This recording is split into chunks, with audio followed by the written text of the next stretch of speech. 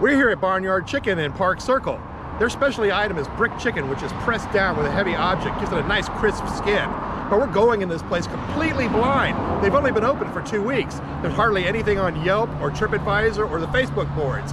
But we're still going to go jump in feet first. Let's check it out. I'm a Charleston native. I love to go on cruises, travel to amazing places, and enjoy local cuisine. This is Local Charleston. Barnyard Chicken is brand new. It's located two doors down from Codfather on Park Circle. There's lots of available parking on the side of the building and around back, and they have this wonderful takeout window, so if you have a takeout order, you don't even have to go in the restaurant. You can just pick it up at the window. They have all this great outside seating, and that's really important because as we walk in, you'll notice it's not a very big place at all. In fact, it's quite small, if not cozy. But don't worry, because they turn tables pretty quickly here. And one thing I absolutely love with these pole dancing chickens in these pictures, I thought that was absolutely hilarious. It's only been a couple of weeks since their grand opening, and right now the only drinks they have are Coke products, tea, and water.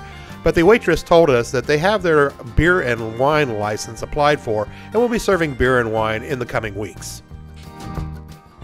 The vibe here is laid back and relaxing. They have all kinds of little chickens. I didn't even notice these little chickens hidden up here, and the service was absolutely great. Now, I thought this was a great idea. They have this deck of cards here, but they're not playing cards. They're cards with questions you can ask your table mates. Anything from are you named after somebody and why, and what is your vision on life, and what's your favorite thing to do on weekends, so you get to learn a little bit more about the people you're dining with. It would be a great place to take a first date, that way you can learn everything you want to know about who you're dating. We started with the sticky wings, which are charred sweet soy and garlic, and we went for a six piece. The wings were a good size, and the sauce was nice and sticky and sweet, but the unusual thing about it, and you're going to hear this about a lot of the food we got here, was the juiciness of the chicken. I mean, I've had wings before, but I would never describe wings as being juicy, but in this case, I definitely would. They were a great start to the meal, but be sure to pack the paper towels. They are sticky. We went with the whipped potatoes as a side, and as the description says, it's loaded with butter and cream, and they were very creamy. And though it doesn't say so, you can get it with gravy on top. However, originally we were going to get the arancini. Unfortunately, the arancini has been taken off the menu because they were having problems getting it to stick together in the frying process. I don't know if it's coming back, but for now, it's not available. Up next, we had the garlic noodles, and these were an absolute hit. And this is a small portion, and let me tell you, this small portion could definitely feed two people. In fact, while we were here, I saw a couple on the table across from us, and they were splitting the portion between them.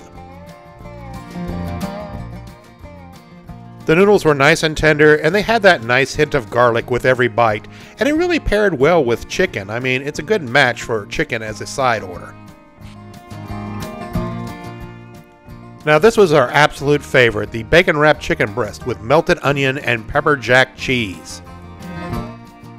Now, in other pictures we've seen, this was sliced into four pieces, but this is just two, and of course, that's not going to affect the taste at all. But I mean, once again, I'm going to throw that word out. These things were absolutely juicy. They were super flavorful. I mean, you get the smokiness of the bacon, a little bit of heat off that pepper jack cheese mixed with that onion, and of course, the chicken is cooked to absolute perfection. As we slice into it, I want to kind of give you a little bit of a close up of it. I don't know if you can tell or not, but you can just absolutely see how just drippingly juicy this is. I mean, it was flavorful, and it was our favorite item on the menu. Now, of course, we can't come to Barnyard Chicken and not get their signature item, their brick chicken. And this is a half chicken right here, both white and dark meat. Their chicken involves a double brine, a 24 hour wet brine, followed by a 24 hour dry brine. Then it's put skin side down in a cast iron skillet, and a weight is put on top of it to press it against that hot skillet and give you super crispy skin. And once again, I'm going to have to drop that word that I used on the other two dishes. This is some of the juiciest chicken I've ever had. And juicy in the good way, not greasy or anything at all, just absolutely juicy perfection. It's almost like you get the best parts of a rotisserie chicken, but at the same time, it's a fried chicken. So you get the juiciness of like rotisserie, but the crispiness of fried. I was very pleased with the portion size as well. I thought it was a very generous portion, and the chicken was very meaty too, so that was a plus as well. So even though the bacon wrapped chicken was our favorite, I'm not down in this chicken at all. I mean, this was a very, very close second. For their signature item, I'd say they hit this one out of the park, and I will be coming back here again to get more of that delicious chicken. Now they have two sauces available, reduced chicken love and their spicy green sauce. Now I try not to insert opinions, but absolutely my favorite was the spicy green sauce. It's kind of a mayonnaise based, and it's not hot, it just has lots of spice in it and really accents the chicken well. Now I thought this was a cute touch as well. When they bring you the bill, they put it inside an old book. This is like a book of old war poems. I thought that was a very clever touch. Park Circle has definitely been making a splash on the food scene with lots of great trendy restaurants, and this one is another feather in the cap for Park Circle. So if you're craving some super juicy and tasty chicken, look no further than Barnyard Chicken. If you enjoyed this video, please like, subscribe, and follow. It doesn't cost you anything and it helps to grow the channel. And we put out a new restaurant video each week. And as always, thanks for watching.